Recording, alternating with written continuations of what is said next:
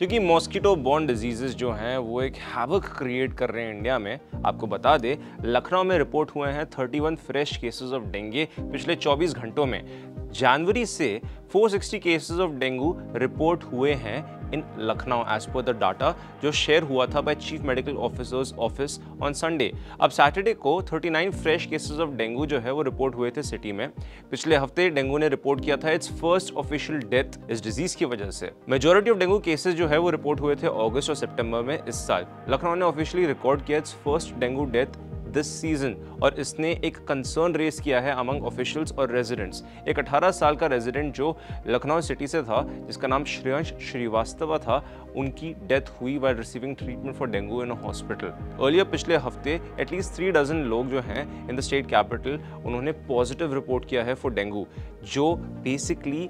total number of cases bring कर रहा है to 284 this year Ritu Srivastava, जो कि डिस्ट्रिक्ट मलेरिया ऑफिसर है, उन्होंने रिपोर्ट किया कि डेंगू केसेस एमर्ज हुए from various areas of the district including Gosaiganj, Alambagh Indira Nagar and pockets and Gomti Nagar extension Gosaiganj mall and Chinhat अब बात करते हैं डेंगू के बारे में। ये क्या होता है? ये एक वायरल इन्फेक्शन है जो स्प्रेड होता है फ्रॉम मॉस्किटोज टू पीपल ये ज़्यादा कॉमन रहता है in tropical and sub tropical climates Aedes aegypti mosquito जो है वो प्राइमरी वेक्टर रहता है of the dengue virus according to the world health organization about half of the world's population जो है वो करंटली रिस्क में है of dengue at an estimated 100 to 400 million infection जो अकर होते हैं हर साल। जबकि कई डेंगू केसेस जो है वो एसिम्टोमेटिक होते हैं और प्रोड्यूस करते हैं माइल्ड इलनेस ये वायरस जो है ओकेजनली कॉज करता है ज़्यादा severe cases and even death as per W H O according to W H O जो कॉमन सिम्टम्स डेंगू के हैं,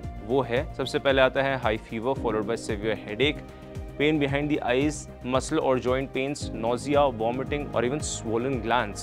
करंटली कोई स्पेसिफिक ट्रीटमेंट नहीं है इस डिज़ीज़ के लिए, लेकिन डॉक्टर्स यूजुअली फोकस करते हैं ऑन ट्रीटिंग पेन सिम्टम्स काफ़ी जो केसेस है डेंगू फीवर के, उसको ट्रीट किया जा सकता है घर पे विद पेन मेडिसिन लोग अक्सर पपीते के पत्ते का जूस पीते हैं ताकि वो इससे क्योर हो पाए। पैरासिटामोल जो है वो ऑफन यूज़ किया जाता है to control the pain non steroidal anti inflammatory drug जैसे कि इबूप्रोफिन और एस्पिरिन भी अवॉइड किया जा सकता है, क्योंकि ये इंक्रीज करता है द रिस्क ऑफ़ ब्लीडिंग तो ये चीज़ आप ध्यान में ज़रूर रखें। क्या कहना आपका इसके बारे में हमें कॉमेंट सेक्शन में ज़रूर बताओ हेल्थ लाइफ को लाइक शेयर और सब्सक्राइब करना ना भूलें।